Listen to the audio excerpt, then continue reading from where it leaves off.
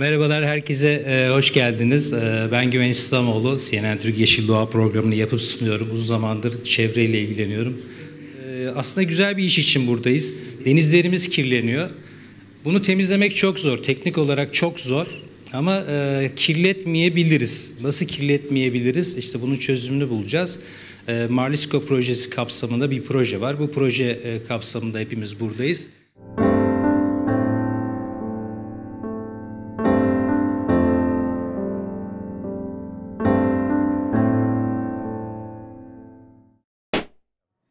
Bu denizlerden çıkan bir madde. Bunun ne olduğunu soracağım. Bu bir köpük, dolgu köpüğü. E, gemilerde kullanılıyor, yatlarda kullanılıyor. Tabii biz molozları denize attığımız için, kumsallara döktüğümüz için bu müddet sonra denize gidiyor ve oldukça da tehlikeli bir kimyasal madde.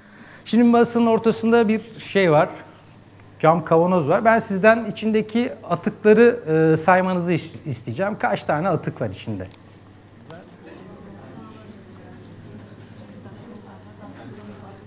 Gerçekten de sınırsız. Hak, hakikaten bunun verdiği zararlar orada 9 tane ama daha sonra nelere dönüştüğünü çok bilemiyoruz ama tabii ki suya baktığınız zaman e,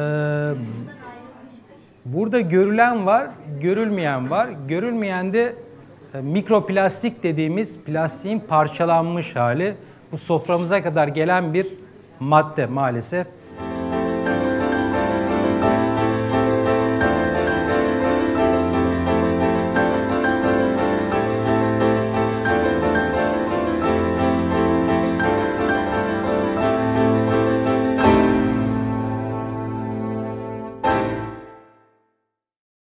Denizlerimizi nasıl kirletiyoruz? Nasıl temizlemeliyiz? Bunu konuşmak istiyorum. Uzmanlarımıza söz vermek istiyorum. Ee, Karadeniz sahillerinde mesela az önce Güven, Güven Bey'in de bahsettiği gibi bu mavi kapaklar, e, yine ufalanmış plastikler, az önce gördüğümüz poliüretan köpük ve strafor parçaları. Bunlar e, kumun üstünde neredeyse kumla yarışacak miktarlarda karşımıza çıktı. Genel olarak bakarsak buzdolabı kapağından e, hastane atıklarına birçok şey bulduk. Deniz zeminine baktığımız zaman e, en fazla plastik poşetlere rastladık. Yüzen çöpler arasındaysa özellikle yaz yaz zamanı e, bu deniz topları, işte strafor simitler, e, şişme e, yataklar gibi şeylere rastladık. Yani en büyük sorunumuz plastik. Görün, bir de görünmeyenler var. Evet, o da ayrı bir konu. Mesela en fazla, en, en etkili olan hangisi? Biraz önce mikroplastikten bahsettik. Hı hı. Mikroplastik 5 milimetrenin altındaki parçalara e, söyleniyor.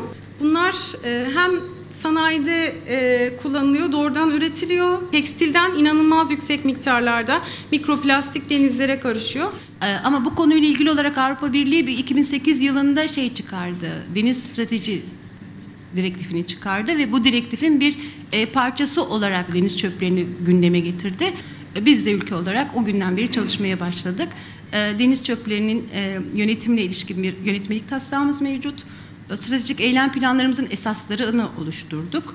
E, ve İstanbul içinde biz geçen sene bir stratejik eylem planı çıkardık. İşte burada biz sorumlu endüstri anlayış dediğimiz bir kavram içinde çalışıyoruz. Yani şuna inanıyoruz. Topluma biz bunu üreterek bir artı değer yapmamızla bitmiyor.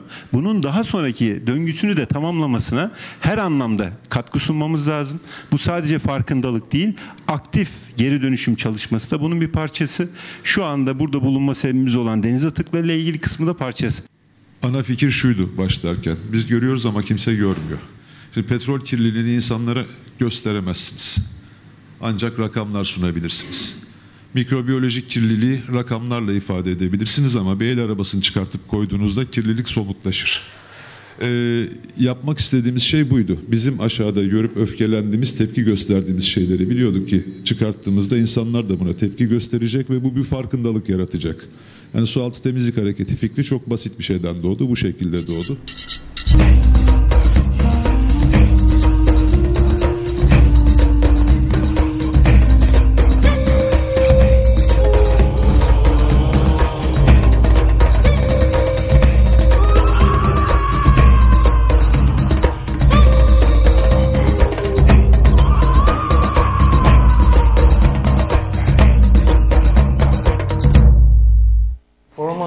Bölümünde söz sizde olacak ve bir çözüm üreteceğiz. Ben geçen gün Bozcaada'ya gittim. Torba yasaklamış Bozcaada.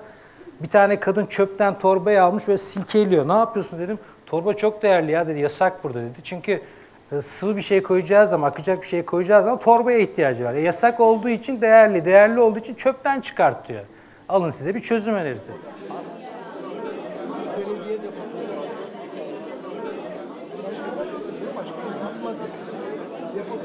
Düzenli depolama alanları çok önemli çünkü deniz atıklarının %80'i karasal kaynaklı olduğu için düzenli depolama alanlarının deniz kıyısından uzaklaştırılması, daha doğrusu düzensiz depolama alanlarının bir kere zaten e, düzenliğe geçmesi ve deniz kıyısına uzaklaştırılması, sayısının da artırılması.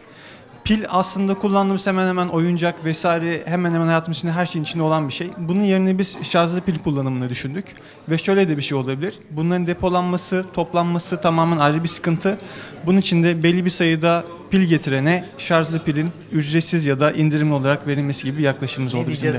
geri dönüşüm bankamatikleri. Bu da içine e, ambalaj malzemesini attığınız zaman bir anda parçalayıp depolayabilecek ve karşılığında size hediye verebilecek bir sistem olabilir belki diye düşündük. Bankamatik. Ben e, denize terk edilen ve daha doğrusu kopartılıp terk edilen avlanma araçlarıyla ilgili bir şey söylemek istiyorum. Bu istenmeden olmakla beraber bir çöptür. Ben bu çöpün kimin olduğunu belirlenmesi açısından 50 metrede bir tane 34D 283 işte gibi bir plaket takılması Yani ağlara bir kimlik verilsin. kimlik verilmeli ve o çöpü orada bıraktığı için bir müeyyidesi olmalıdır. Şimdi birazdan bu oyları sayacağız. Ekrana e, daha doğrusu oylamaya göre hangileri daha çok e, takdir görmüş onları sıralayacağız. En etkileyici olandan başlayalım.